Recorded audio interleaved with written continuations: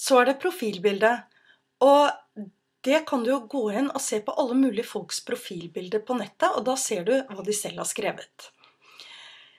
Legg merke til at på høyre side så får du også en oversikt over hvem det er de følger. Og da kan du gå inn og titte på dem og se om de kan være noe morsomme å følge.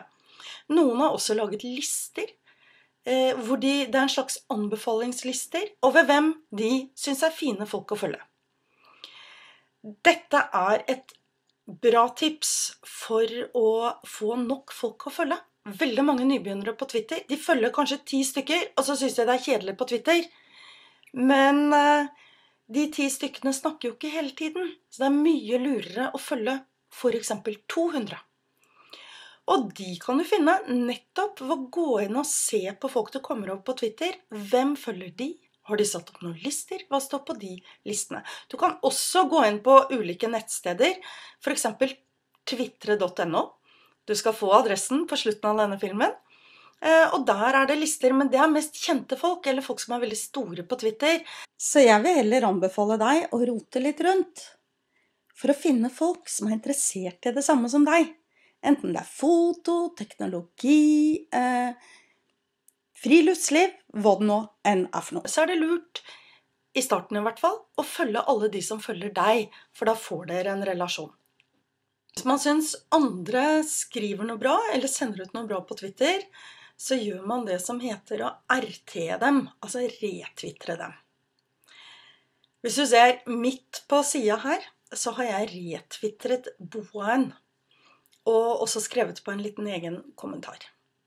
Du kan gå inn på Home. Husker du hvordan du svarte ved å bare føre musa over, så fikk du opp reply. Der har du også et alternativ som heter retweet. Så gjør du det men med en annens tweet, så kommer det opp i ditt bilde, og du kan bare sende av gårde. Tilbake til Boaen. Hva var det hun sendte ut? Jo, det var en artikkel om Island. Men det ser jo ikke du. Du ser bare at her ligger det en lenke. For å sende ut lenker på Twitter, så må man forkorte dem. Og det gjør du gjennom et sted som heter bit.ly. Nettadressen står på slutten av filmen der. Så du må altså, når du er på en nettside du syns er bra, en avisartikkel f.eks., så klipper du ut den adressen. Så går du til bit.ly, så forkorter du den, sånn som du ser her. Og så klipper du den forkorte versjonen og legger den inn når du skriver på Twitter. Dette tar jo litt tid, og hvis du laster ned TweetDeck f.eks., som er litt for viderekommende, så går dette automatisk. Du bare klipper inn lenken, og så forkorter TweetDeck av seg selv. Men som sagt, det trenger du ikke lære nå. Lær deg heller å bruke Bitly til du er fortrolig med det det er jo det at mange gjør narr av Twitter fordi det bare er 140 tegn. Og så sier de ah, man klarer ikke si noe lurt på 140 tegn. For det første, det klarer man. Det er helt utrolig hvor mange unødvendige småord man bruker. Det slutter man med når man er på Twitter. For det andre, dette med å sende ut lenker, og sende lenker til hverandre, er jo noe av det som gjør Twitter morsomt. Man utveksler lengre artikler, eller bilder kan man også sende. Små filmer, hva som helst. Og så diskuterer man det etterpå. Et tips det er lurt å være hyggelig på Twitter.